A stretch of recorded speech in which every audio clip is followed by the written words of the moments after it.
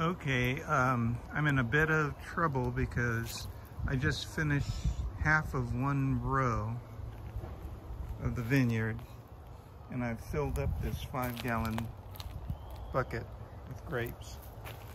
So, not sure how much I'm gonna end up with, but the plan was to, because um, I'm traveling on the 18th, was to um, crush and destem, which I can do here in the garage, and then uh, freeze it. So there may, may not be enough room in my freezer for all of the grapes, grape juice or grape must, but we'll see.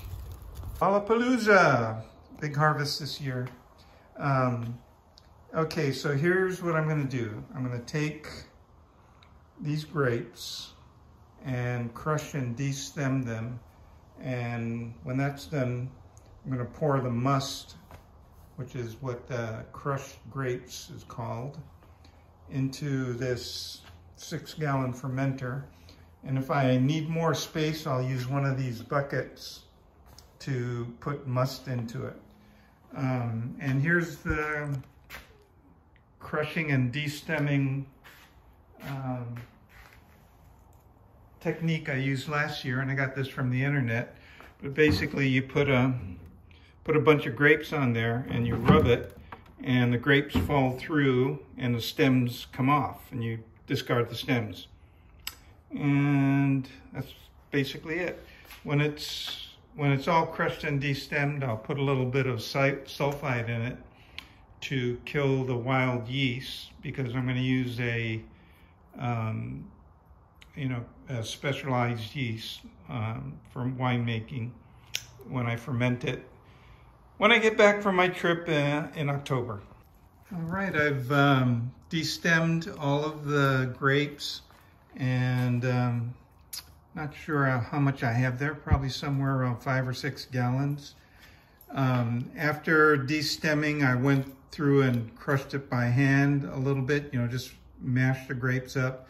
And I used um, this masher here um, to mash the grapes.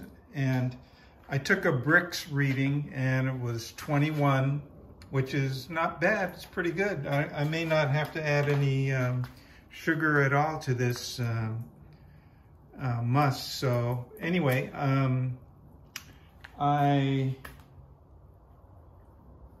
I'm about to pour this into the fermenter and see what we end up with. Okay, um, I fill, filled this not quite to the top, this uh, six gallon fermenter. And this two gallon bucket has, I don't know, one and a half gallons in it. And um, now I'm gonna take them down into the basement and let them sit overnight to let the, um, oh, I forgot to say I put a um, quarter or half a teaspoon of potassium metabisulfate in the wine um, to kill the wild yeast.